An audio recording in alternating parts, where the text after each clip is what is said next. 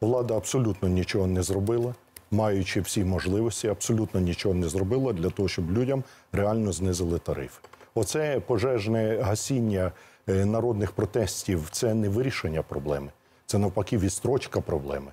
Тому що зараз е, ви говорите про ціну, яку встановлюють 6,99 за кубазу. Це на два місяці до 31 березня. Що буде потім? А що буде наступної зими? А що буде через дві зими?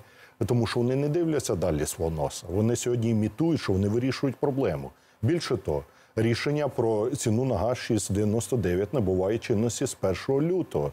А за січень місяць космічні платіжки, які кожен з нас заплатить, хто компенсує людям, у яких мінімальні доходи, хто їм компенсує ці космічні платіжки? Їм вернуть переплачені в- результаті бездіяльності влади гроші.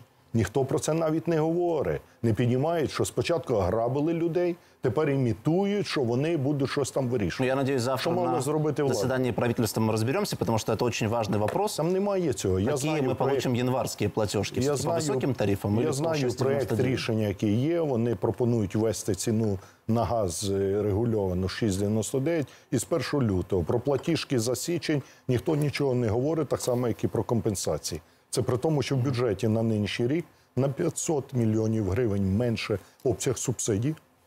Але зважаючи на зростання вартості тарифів, людей, які потребують ці субсидії, значно більше. Тому треба вносити зміни до бюджету негайно і передбачити компенсації тим людям, які в січні переплатили за е, ці космічні е, тарифи в результаті бездіяльності влади. Вся відповідальність за цей грабеж лежить на владі.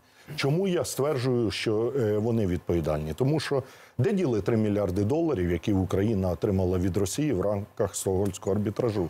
Ці гроші повинні були піти на енергомодернізацію, енергозаощадження, реконструкцію житлово-комунального Ну, господарства, пішли бюджет. на збільшення видобутку там- власного газу, щоб не купувати імпортні за мільярди доларів, щоб не купувати імпортний газ, імпортну електрику, імпортне вугілля, а інвестувати ці гроші в Україну, зароб- давати можливість заробляти українцям. Вони проїли ці гроші, вони протратили ці гроші, і сьогодні в результаті цього ми маємо такі високі тарифи.